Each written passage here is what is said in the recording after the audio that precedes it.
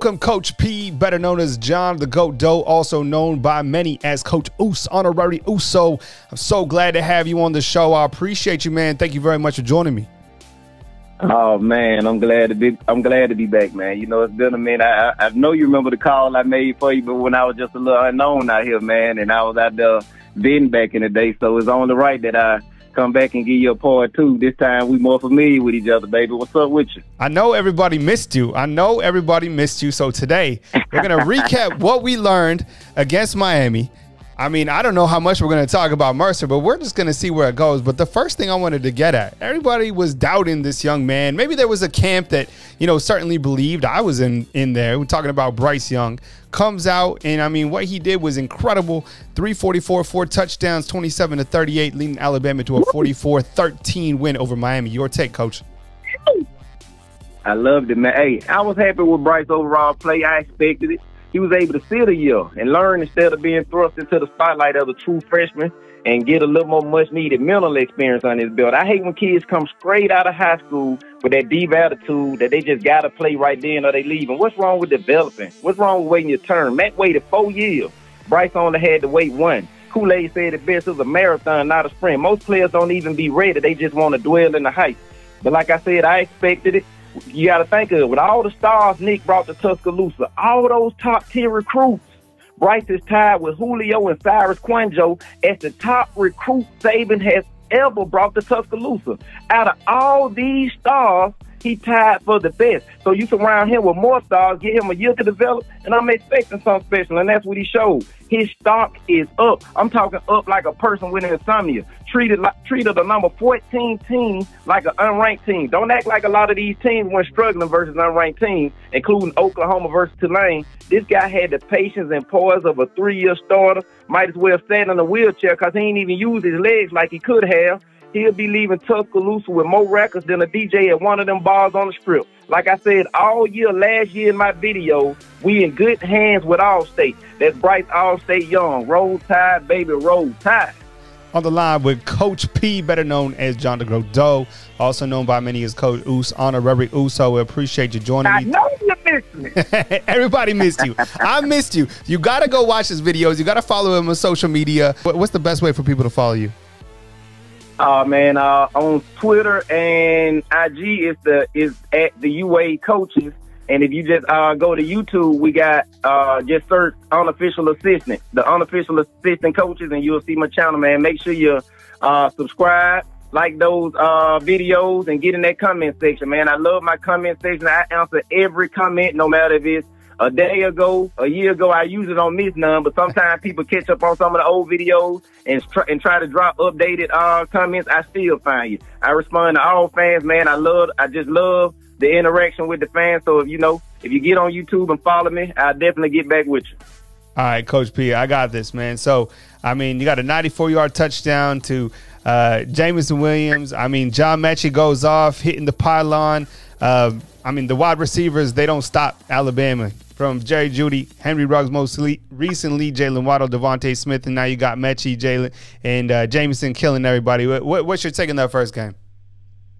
Oh man, on that one to mention, man. First of all, shout out to Evan Neal, aka Big Griddle, serving up pancakes every Saturday, butter not included. He stopped a standing outside linebacker who jumped outside and got a head start in his tracks to allow Bryce time to work his magic in the pocket. And he did just that, worked his magic. If you got a 4K TV and zoomed in, you can see Bryce actually say abracadabra before stepping up in the pocket and scrambling with his eyes still down the field. As a dual threat quarterback, we just knew Bryce was going to take off and get by eight to nine yards before being met by the members of the Miami Tropical Depression. But the young man was still looking for gold and struck it rich similar to his preseason endorsement, and found his number one option, John Dunn, wide open coming across the field. After giving a super soft touch pass, Mitchell handled the rest with one man to beat. The Dunn hit him with the speed change and high step, skipped to my loose style, scrambling the defender's brain frequencies, and ran right by him. The guy never had a chance. And and if you if you haven't heard, the Canadian bacon everybody. And in the words of Biggie Smalls, if you don't know, now you know. And to put a little extra spunk on it for SportsCenter Top 10, John pulled a Kenyan Drake Superman dive from the five yard line at an angle for the six. That, my friend, is how Bama started the season off in style. We missed a touchdown on the second play of the season, but still cashed in on the same drive in epic fashion. People, Shout out to that boy John the Dunn. People asking, you know, Metchie, they're like, Coach mad at the high step. Come on, you know he's not mad at the high step. I mean, don't question Metchie hey, because I mean, Jeudy was doing the same thing. It's, it's, scrambling those brain frequencies, man. You don't know what's the next move. You hey, when, when those legs get the, it's just like somebody finna start fighting, and you know the old school cats used to start shifting their feet real quick so you can look down at their feet, then they hit you with a jab. Them, that, that feet throw your brain frequencies out, man, and to give you that change of speed. You just know you don't know what the next step is, baby. I so, know Coach couldn't have been the mad at that. I'm gonna have a I'm gonna have a talk with Coach about that one. We'll get back on that. uh, on with Coach P, better known as John the Goat Doe also known by many as Coach Us Honorary Uso. Follow him on his YouTube channel. Just type unofficial assistance. I don't even have to tell you where to go. You already know where to go. I'm with you watching the game, watching his breakdown, so you do too. I ask you about Evan Neal. Six foot seven, 360 pounds. He's box jumping, 40 inches, whatever it is. Best offensive lineman in college football. That's not only my opinion. I think there's a lot of NFL analysts that feel the same. Your take on him anchoring this offensive line? Oh man, Evan, the real deal Neal, aka Big Griddle, serving up pancakes every Saturday, butter optional. He developed in everything I was hoping he would be when we got it from IMG. I've been an IMG fan since Bo Scarborough, so every time I hear we looking at a player from IMG, I'm expecting a lot. Shout out to JC Latham as well, since we speaking of IMG O line stud. But as for Evan, I feel like you said the best lineman in America. It'll come down between him and what's the guy, uh, Thibodeaux or whatever his name out there, going for the top spot in the draft. Imagine if, uh, imagine if he came to Bama as well, choosing Oregon over us. What a joke. As a defensive lineman, mm-hmm. not a quarterback, not a running back, not a wide receiver. You went to Oregon as a defensive end. That boy ring fingers cursing him out after every season. But as for Evan, he has shown his versatility, can play anywhere on the line, showed his athleticism with the viral video. If his parents still in his life, they can both go to work and cuss out the boss and walk out because Evan is out of here. that boy walking me and there on the campus. But to all the ladies, you did not hear that from me. we can't, hey, hey, coach, we can't forget about Trey Sanders also out of the IMG. We got Evan Neal, IMG, JC Latham, and then Trey Sanders. Coach, Coach Saban, the first thing he said after the game was how happy he was for Trey Sanders scoring a touchdown. Oh yeah, hey, I'm so happy to see Trey back. You know, Trey, hey, and you know we have a few more studs from IMG. I was just naming the offensive lineman, but guess what? Trey also predicted a Heisman coming up here, and I'm and I'm still holding him to that. I'm so glad to see him back, and back in action, looking good. You know, we all know the the long road he you know went through to get back. He looking healthy. Uh, I love the way he bounced that thing out like a sport in basketball. You know, took it up the middle and bounced that thing outside. Just looking good, man. I know he been through so much. I was just like coach, man, just proud of him. It's like seeing your kid out there. You just had so I'm talking about it was chill seeing him running running there and get that touchdown. Shout out to Trey Sanders, man. Trey Day coming soon. Trey Day. Alabama's defense, William Anderson, uh, the Terminator, nine tackles, one sack. The defense, they look hungry. They look like they were trying to earn something, coach.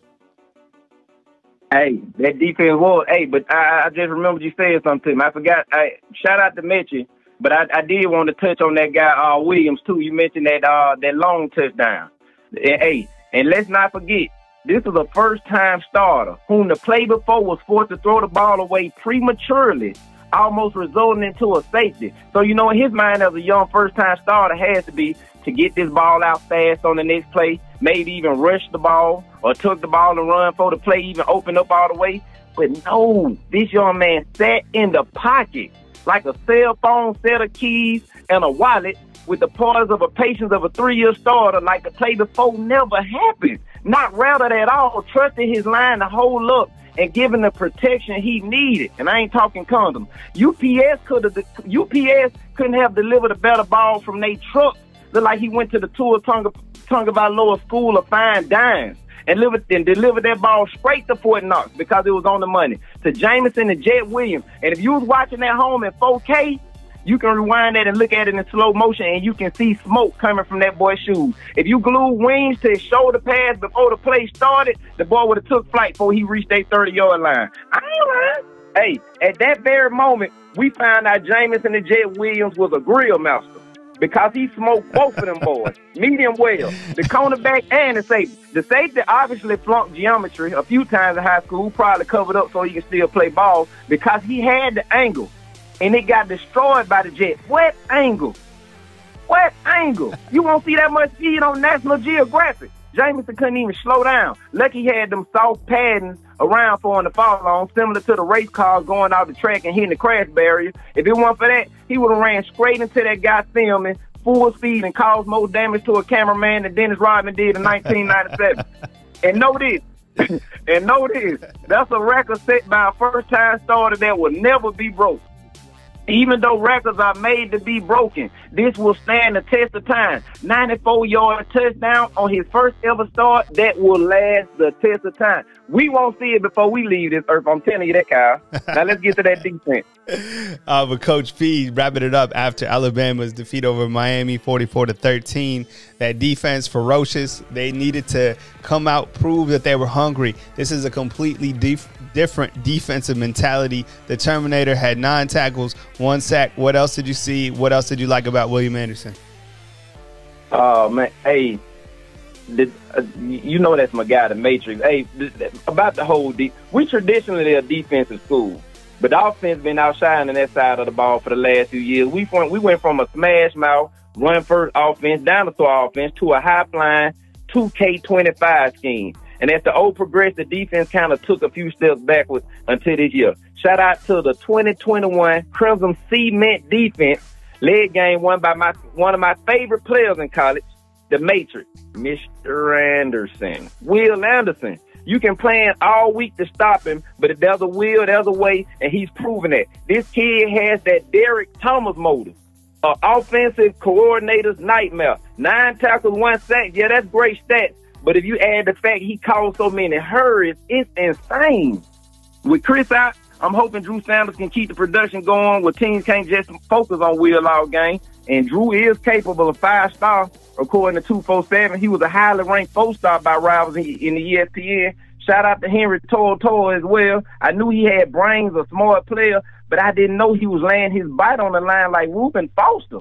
On the first interception, he not only laid out the receiver, it was a Bama guy strapped on the receiver back who got blasted as well. He he got way more power than I than I expected. The new look cornerbacks held up on their end. The only deep balls was thrown versus the safeties. And we was in good position, but it's hard to make a play on the ball when the refs ain't calling the offensive pass interference. The Miami the Miami receivers had full arm extension, yet no calls. I want to see a healthy LaBryan Ray. Shout out to Coach Nita. He loves that kid as well. My boy Battle always ready to battle. And Branch and Moore are Minkah Poet two and three. Between Tim Smith and DJ Dale, I want to see you go step up and be the king of the middle. Phidarian the praying Mathis has a knack for making big plays, and the boy be a solid recruit. I'm hoping for max production from him. Christian Harris led the team last year in tackles, so I'm hoping everything even slower for him this year. Hit stick Hellams should be healthy soon. And shout out to Kool-Aid who waiting his turn to become a true champ because he will definitely be shining soon. I'm loving the Crimson Cement defense, man. I love what they got. I love what they got going on out there, Kyle. All right, so we got we got this offense. We got this defense who looks ferocious. We can't forget the special teams. Will Reichard out here hit three field goals, including one for 51 yards out. He has 18 now in a row. The guy continues to hit field goals, extra points. Saban loves him. Everybody loves him, but the nation's still not giving him the notoriety that he deserves.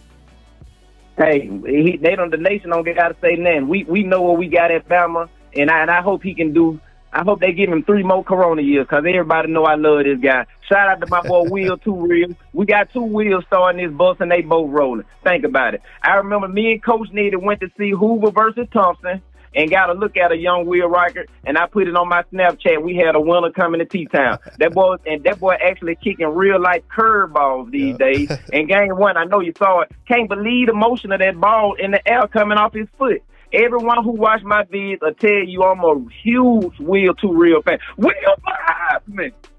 That's my guy. You my boy Blue. Shout out to other Will, Will Ferrell, man. That's my guy. All right, before we uh before we wrap it up, Coach P, and remember, if you like this content, hit the thumbs up, like, subscribe. The super chats go to Coach P. So you want to support him, hook him up. All right. So hit the super chats or go into Coach P, aka the GOAT, John Doe. You know who he is. Follow all his videos. We'll put the videos inside the comment box. You just look for the unofficial assistant joining us right here on BamaInsider.com. Last thing I want to ask you about, all right? Bill O'Brien comes in. Um, the the best thing I love is after the game is Bryce is telling he's like, "Yo, OB, OB's calling these good plays and all this," and then I go and on the message boards on social media, people are like, "Oh, the plays are too vanilla."